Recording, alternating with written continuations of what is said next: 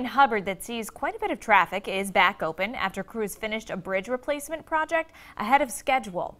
Migrant Street reopened Tuesday. It's been closed since August. The next phase of the project will be to build a sidewalk connecting Eagle Creek Senior Facility to Main Street. Part of it will be paid for with a Transportation Alternatives Program grant.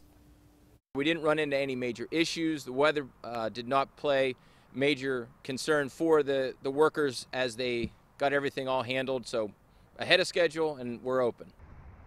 City Council has already passed legislation to rename the bridge Hubbard Veterans Bridge. The decision now goes before the county engineer's office and commissioners.